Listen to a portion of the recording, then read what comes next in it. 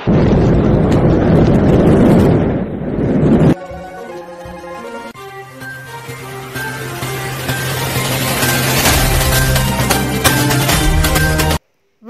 கலாம் செய்திகளுக்காக வாசிப்பவர் ஷாலினி.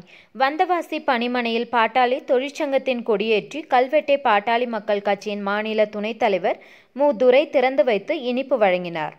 திருவண்ணாமலை மாவட்டம் வந்தவாசியில் மருத்துவர் ராமதாஸின் முத்துவிழா நினைவாக வந்தவாசி பணிமனையில் பாட்டாளி தொழிற்சங்க கொடியேற்றி கல்வெட்டு திறப்பு விழா நிகழ்ச்சிக்கு மண்டல சங்க துணைச் செயலாளர் எஸ். கான்டீபன் தலைமை தாங்கினார். சங்க பணிமனை தலைவர் மூர்த்தி கௌரவ தலைவர் செல்வம் ஆகியோர் முன்னிலை வகித்தனர். பணிமனை செயலாளர் குமார் அனைவரையும் வரவேற்று பேசினார். முன்னாள் சட்டமன்ற உறுப்பினர் எதிரொலி மணியன் மாவட்ட துணை பொதுச் செயலாளர் வேலாயுதம் மாவட்ட செயலாளர் சீனிவாசன் ஆகியோர் வாழ்த்துரை வழங்கினர்.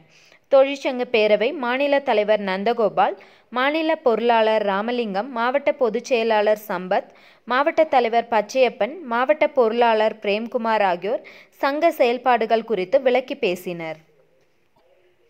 பாட்டாளி மக்கள் கட்சியின் மாநில துணைத் தலைவர் மூதுரை தொழிற்சங்க கொடியேற்றி கல்வெட்டை திறந்து வைத்து சிறப்புரையாற்றினார். இந்நிகழ்ச்சியில் வன்னியர் சங்க மாநில துணைத் தலைவர் பிச்சைக்கண்ணு மாநில செயற்குழு உறுப்பினர் மன்னப்பன் மாவட்ட அமைப்பு செயலாளர் மச்சேந்திரன் முன்னாள் மாவட்ட செயலாளர் ரமேஷ் உட்பட பலரும் கலந்து கொண்டனர்.